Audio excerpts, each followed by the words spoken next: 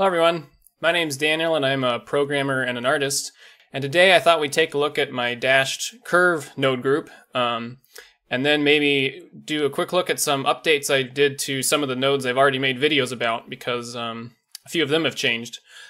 Um, the curve dash node is part of my geometry nodes asset collection, which you can see all of the nodes that are in that here.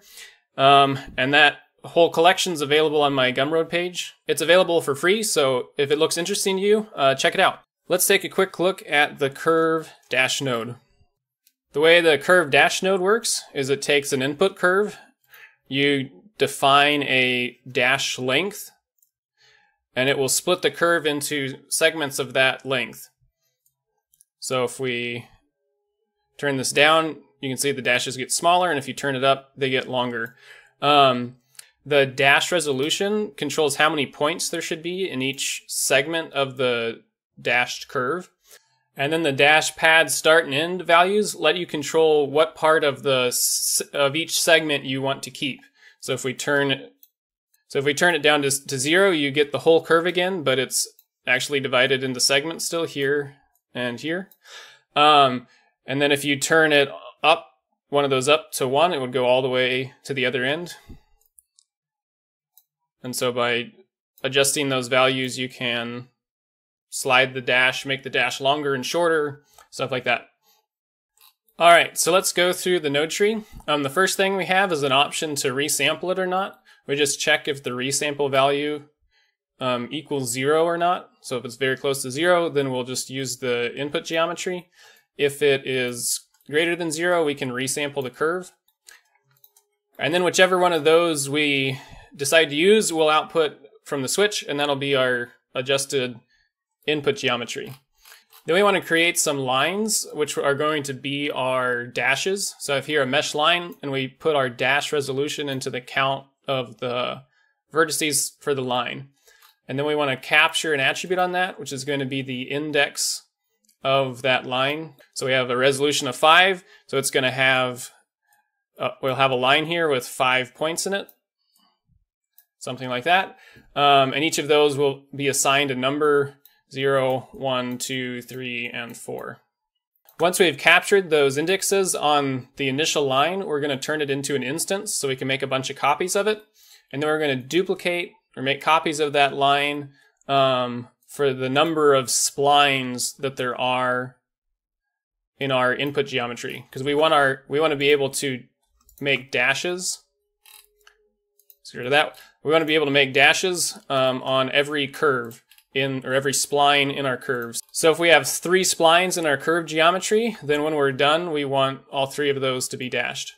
Um, so, so first thing, we, we make the line, then we're going to make a copy of the line for each spline in the curve. So once we've duplicated them, we'll have, since we have three splines, we'll have three mesh lines, each with five points in it. The next thing we need to know is how many segments each spline in our curve should be divided into, um, which will be different depending on the length of the curves. If, if they're shorter or longer, they'll need a different number of dashes to fill that length of spline. So the first thing we'll need is our dash length, which we can just get from the input. And then for each of our three copies of our mesh lines, each of those are assigned to a spline, so we can sample a value from an index off of the splines of our input curve, and we can get the spline length. So each of our copied lines is now assigned a spline length from our three input splines. We can divide that length by our dash length. And then if we round that, we will get the number of segments we need to fill that spline. Once we know the number of segments we need to create for each spline, we can duplicate our mesh edges again, this time using the spline segments as for the amount. And that'll give us a bunch of copies of that mesh line where each spline is assigned a number of instances equal to the spline segments needed to fill the length.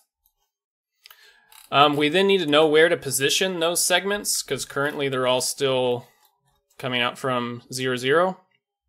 The way we can do that is um, by first realizing the instances so that we have meshes with points to work with again, and then we can set the positions on our mesh lines by evaluating the input curves. So that's what we're doing here with this sample curve. Um, on the sample curve, we're going to pass a value through. Um, that value is going to be the radius and the tilt. We're just combining them to x, y, z so we can do it with one sample curve instead of needing two. So that's the value is our radius and tilt, so we can reapply that. And then it automatically gives you the position, which we're going to use to set the positions of our the vertices in the mesh lines. We need to know where to set the position to though. So that's where this factor value comes in. The factor is on each curve. It'll go from zero on the one end up to one on the other end. Um, so we need to calculate that for each of our mesh lines. We can calculate the factor for sampling the curve by doing some math on our indices. Um, we're going to eventually add two factors together. Those two values are going to calculate first the starting point of a segment, and then a factor that puts each subsequent vertex in a mesh line further along the curve than that starting point, depending on which vertex it is in the line. So to calculate the starting point of a segment, um, all we need to do is divide the index of our duplicate by the number of segments that are assigned to that spline. And that looks like this. You can see it starts at zero and then increases up to one. The second value is um, for a mesh line. We captured way back at the beginning, we captured the index of the vertex. Since there's five points, it goes from zero up to four. Um, we're going to take that value and divide it by the dash resolution minus 1. The reason we subtract 1 is if our index goes from 0 to 4 and our dash resolution is 5, and we want the final value in our sequence to be 1, so we subtract 1 so that that ends up being index 4 divided by resolution 4, which equals 1. That value looks like this. You can see that each segment starts at 0 and then goes up to 1. 0 up to 1, 0 up to 1. Once we have that 0 to 1 range, we want to divide it by the number of segments on our spline, which will convert it from going from 0 to 1 to, in this case, 0 to 0.33 since there's three segments. That looks like this. You can see that this longer one that has more in it, they're a darker value. But then if we add that to our spline indexes, we'll get a gradient that goes all the way across the curve. And then we can use that value as the factor to sample the curve. Once we plug that factor into the sample curve node, we can use the position we get as a result to set the position of our of the vertices in our mesh. And if we then convert that to a curve, we end up with a curve that looks identical to our input geometry but is actually divided into segments. Then if you remember when we sampled the curve, we passed a value into that. That value is the radius and the x and the tilt and the y of a vector. If we separate that x, y, z, we can set the curve tilt and the curve radius so that to see that, we can add a solidify here. And then we can modify the radius and the tilt can see that passes through. Then once we've set the curve tilt and the curve radius, we can just take our pad start and end values.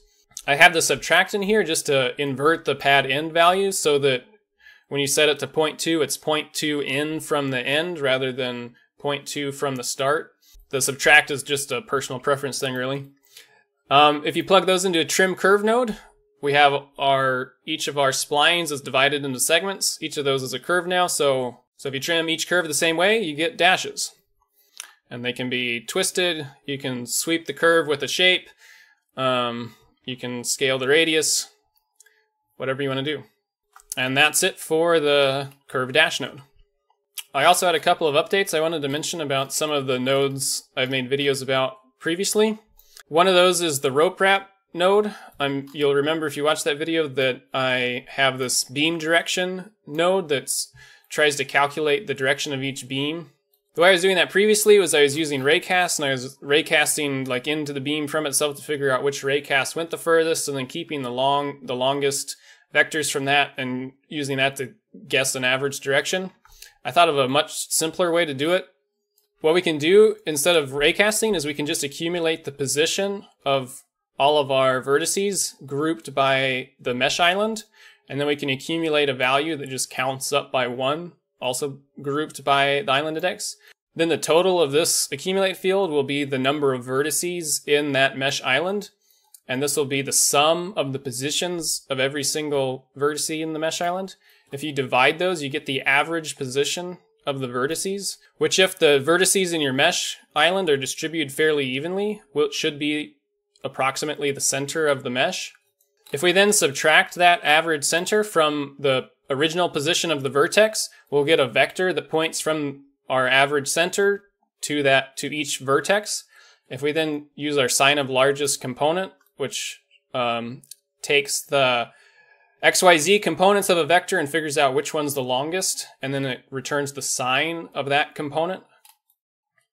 That'll get us the sign of the largest component, which will either be a, a 1 or a negative 1, depending on if the largest component was pointing in the negative or positive direction.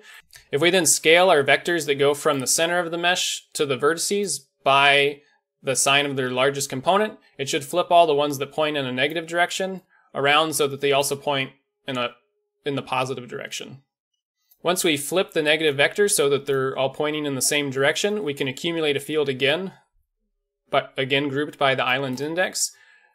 And then we can take the total of that accumulated direction from center vector and capture it on our, the faces of our beams. And that looks like this. And if we rotate a beam, you can see you get different colored vectors depending on which way the beam is facing. The other thing I updated was the curve solidify and the curve sweep node. The curves solidify now just uses the curve sweep inside of it, which makes that simpler. And then the curve sweep got improved so that it accurately creates UVs if the curve is cyclic. And the way I do that is where I was previously capturing the length of the spline and assigning that to the U coordinate. I now instead am building the U coordinate in the same way that we build the V coordinate. And the way we do that is by capturing the index of the, of the point in the spline. Again, here we're combining a vector just to pass a bunch of values through at once. And then we're going to separate that vector to, to use them again.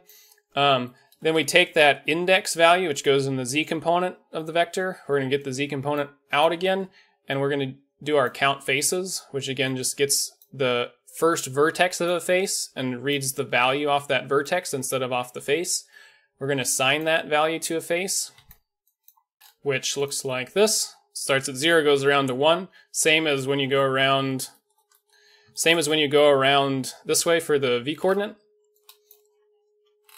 And then we're again going to have to calculate um, from the faces of the corner, we're going to figure out is it the second vertex or is it or the third vertex? If it's either of those, we'll get a value of one. Otherwise, we'll get a value of zero, and we'll use that to and we'll use that to get these gradients that go along each face.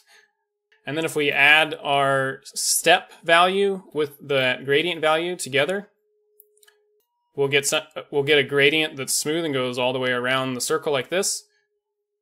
If we then divide that by the number of points in the input spline, you can see all the way back here, we capture the point count is the y component.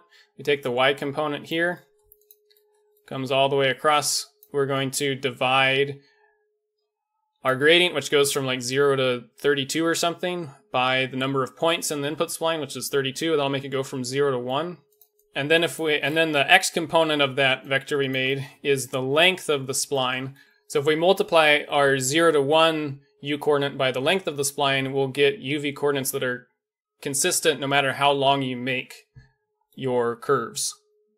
So it looks like this. Then we can plug that into our combine XYZ to get our UV coordinates. The other thing I added here was the ability to add a texture offset per curve because as you can see right now, each of these curves gets exactly the same texture. If you increase this randomized UV value, you'll get a different part of the texture for each curve. The way we do that is we just take the island index into a ran as the ID for a random value, and we set the maximum of that random vector to be our randomized UV input, and then we just add that to the UV coordinates. And this is clamped to a 0 to 1 range. Then same as before, we store that as a named 2D vector on the face corners and send it out as our output. All right, so that's all I wanted to cover in this video. Um, hopefully you found the curved dash node interesting. These are all my nodes again. They're available on my Gumroad page for free, or if you want to give me something for them, I always appreciate that as well. That's all I've got for now, so thanks for watching.